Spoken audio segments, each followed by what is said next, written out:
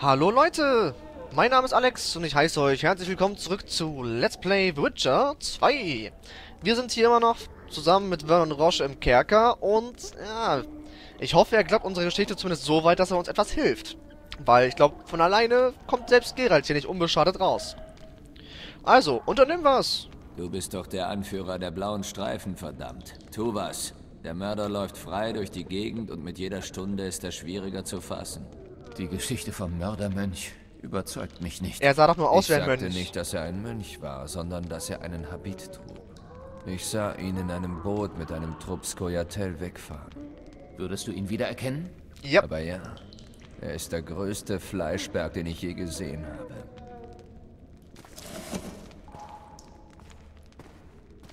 glaubst du uns? Bitte, glaub uns. Also mir. Oder Geralt, wem auch immer. Hauptsache, du glaubst die Geschichte. Ich vertraue dir Was nämlich. würdest du tun, wenn dir die Flucht gelänge? Oh. Natürlich würde ich den Mörder suchen. Ich würde mir gern den Königsmörder schnappen. Wo willst du ihn denn finden? Ein paar Skoyatel haben ihm bei der Flucht geholfen. Da fange ich an. Vielleicht kennst du dieses gewisse Elfengrüppchen sogar. Warum? Wie sollte ich? Sie trugen Masken mit blauen Streifen. Trophäen, nehme ich an. Jorvets Leute. Wo ich die finde, weiß ich. Jetzt haben wir doch eine Spur. Juhu! Es wird immer besser. Nochmal von vorne. Und diesmal ganz ruhig. Gib mir was zu trinken. Nun, warum nicht? Wes! Zuckerpüppchen. Etwas zu trinken. Bring was zu trinken. Und zwar hurtig. Wir haben Durst. Warum eigentlich nicht gleich so? Selbst schuld, Geralt. Dein Schicksal liegt in deiner Hand. Wieso? Was kann ich dafür? Hab ich den König ermordet? Nein. Aber okay, er hat's versaut. Er hat ihn nicht bewacht. Danke. Ich denke, dieser Fehler passiert ihm nicht zweimal. Geralt ist dafür zu clever. Ich meine, der Kerl ist 100 Jahre alt. Der hat doch ein bisschen was auf dem Buckel.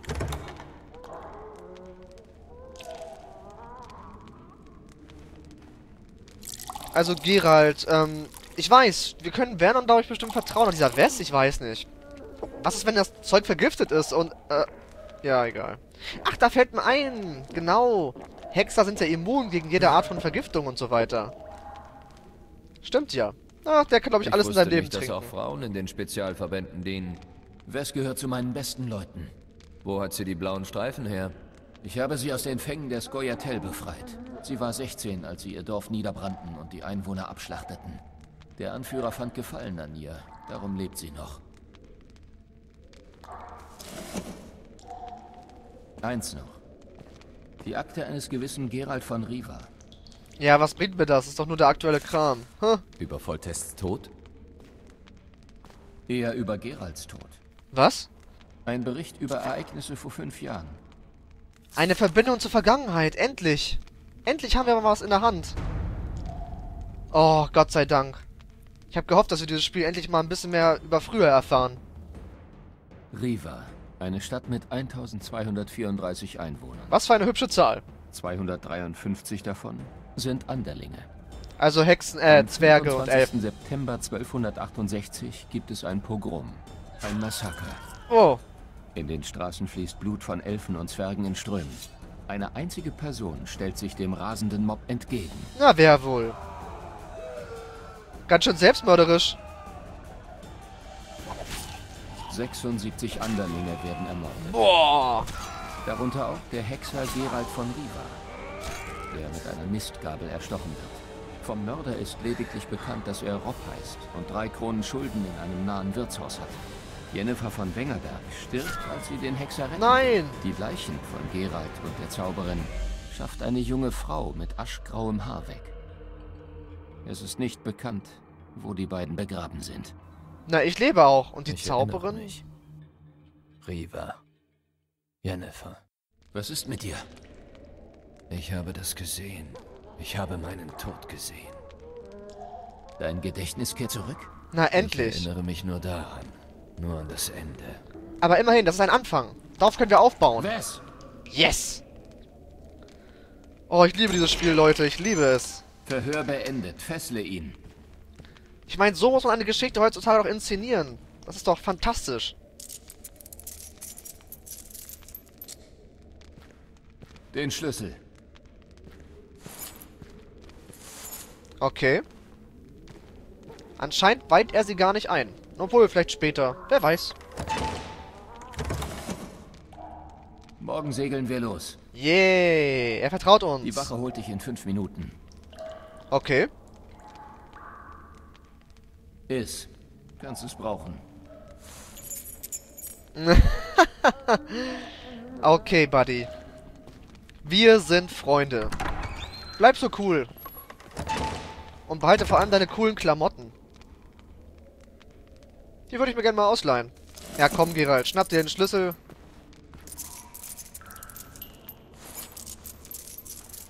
Ja, das ist gut. Das ist sehr gut. Also, ist schon klar, wie wir rauskommen, oder? Das kriegen wir hin. Noch gestern haben sie ihn als Helden auf Händen getragen. Kein Wunder. Ich war Zeuge, wie er im Handumdrehen an die 20 Recken erschlug. Hm. Im Schlachtgetümmel auf den Mauern pfiff sein Schwert so schnell.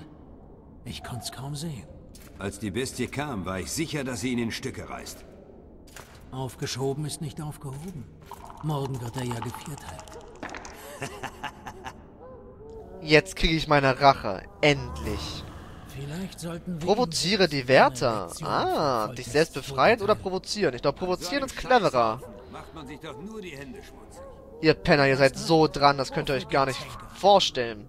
Und vor allem, ich kann mich endlich bei denen rächen und... Aber was passiert in Zukunft? Ich meine, jeder kennt doch... Jeder wird ihn noch erkennen und wissen, dass er als Königsmörder gesucht wird. Ah, egal, erstmal müssen wir hier rauskommen. So. Rache, Jungs. Wache! Komm doch mal her, guter Mann. Was soll das Geschrei? Willst du, dass wir dir das Maul stopfen? Ohne dieses Gitter würdest du die Klappe nicht so aufreißen. Ach, wollen wir doch mal sehen. Das wirst du noch bereuen, haha. Oh, das ging aber leicht. Ich dachte, er hält ein bisschen mehr aus. Wow, und jetzt? Ist das so ein Quicktime-Kampf? Ja. Hey, Gerald! Ja, mach ihn fertig. Okay. So laufen die Fäustkämpfe jetzt also ab. Auch nicht schlecht. Gefällt mir. D. Ja. Yeah. Haha, der weiß gar nicht, was ihm geschieht. Yes. Ah, ganz ehrlich, Gerald, wenn es nach mir ginge, könntest du dich auch töten. Hätte ich kein Problem mit. Gut, hier ist wieder ein Questgegenstand, ein Gefängnisschlüssel. Apropos, Gefängnisschlüssel. Habe ich überhaupt noch Sachen? Wow. Eine Hose. Und ein Trank. Und den Schlüssel. Nein, das ist nicht viel. Aber irgendwo in, diesem, in dieser Burg werden sich wohl meine Sachen finden lassen. Ich gehe mal einfach von aus. Unser Medaillon haben die uns nicht mal weggenommen. Die sind echt schön blöd. Ah, ja. Yeah, schon mal ein paar Sachen. Ein kleiner Knüppel. Na, besser als nichts, das hat er für Werte. Sehr wenig Schaden, aber Lähmen plus 15%. Das ist gut. Weil wenn ein Gegner gelähmt ist, das kann ich zum Beispiel auch mit dem Art-Zeichen erreichen. Ihr wisst schon, Art, dieses, ähm, wie bei Star Wars, die Macht, wenn man etwas wegschiebt. Boom. So ein Schub. So ein Luftschub. Und wenn man, wenn man die gelähmt hat, kann man, dann sind die gelähmt. Und wenn man dann eine der beiden Maustasten drückt, wird er sofort getötet mit einem dicken Finishing Move. Und bei mir könnt ihr auch ein paar der schönen Finishing Moves sehen, die ihr bei anderen vielleicht nicht sehen könnt, weil ich habe ja das Spiel bei Amazon bestellt und da gab es als Vorbestellercode dieses Finisher Pack noch dazu. Dadurch habe ich irgendwie zwei Animationen mehr im Spiel. Netter, nette Dreingabe. Abgenutzte Lederhandschuhe und Rune des Mondes. Eine Schwertaufwertung. Bonus zum Zeichenschaden plus 4. Okay. Ich gucke mich hier am besten immer schön gründlich um, weil ich will nichts verlieren. Also ich will nichts übersehen, meine ich. Entschuldigt.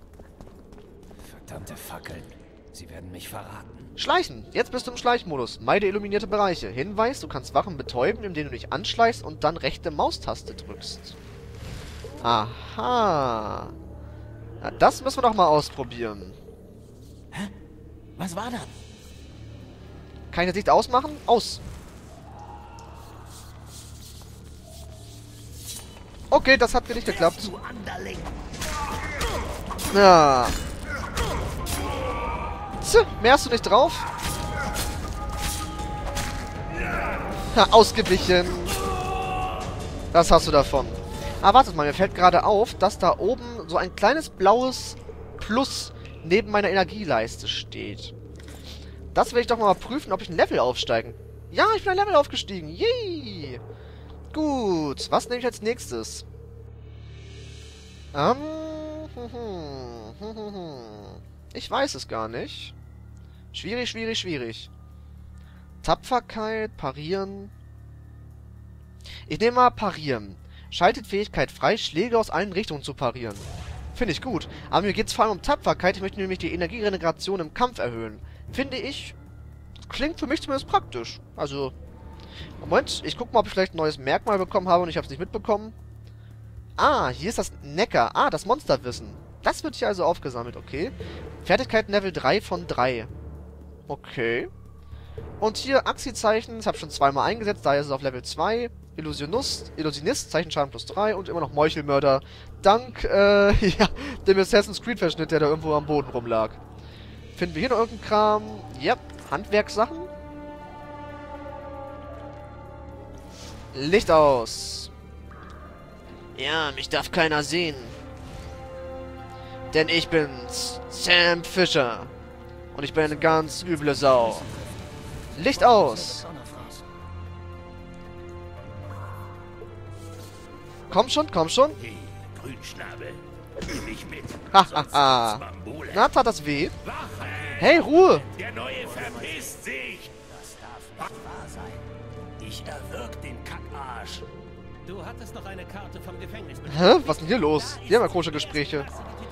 Und ich kann trotzdem deren Sachen aufheben, obwohl ich die so erledigt habe. Das finde ich gut. Ah, durch die Pfützen laufe ich mal besser nicht. Das könnte er hören. Ne, man will ja auf Nummer sicher gehen. Verdammt, ich hätte gesehen. Egal.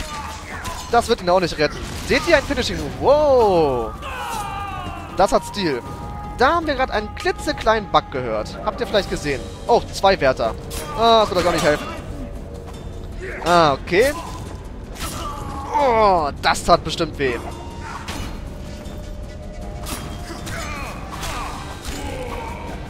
Sehr gut.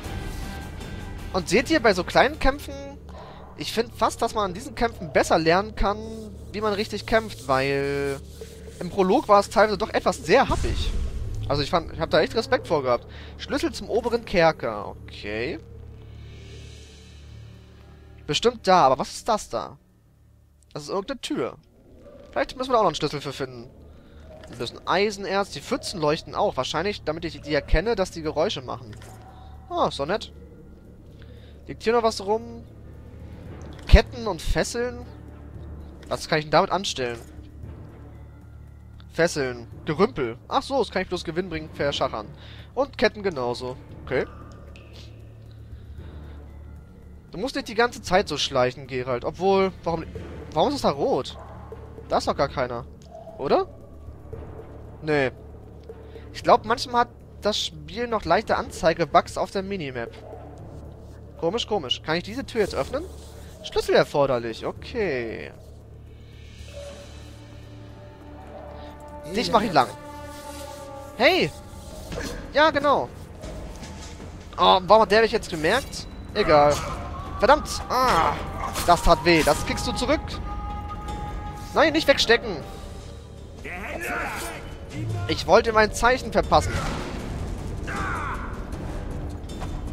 Und die Treppe runter. Ah, schade, nicht ganz geklappt. Hauptsache, du bist tot. Ist die Hauptsache. Habe ich meine Ruhe. Du hast nichts fallen lassen. Nein, hier gibt's auch nichts. Noch ein bisschen Sachen.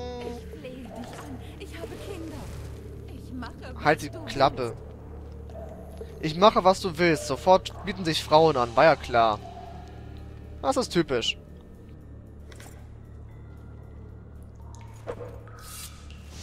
Du dreckiger Wicht! Okay, den habe ich gerade auch in der Zeit erledigt, denn leider ist die Zeit schon wieder abgelaufen. Wir treffen uns beim nächsten Mal wieder bei Let's Play Splinter Cell. Äh, The Witcher 2 natürlich. Mein Name ist Alex. Bis dann.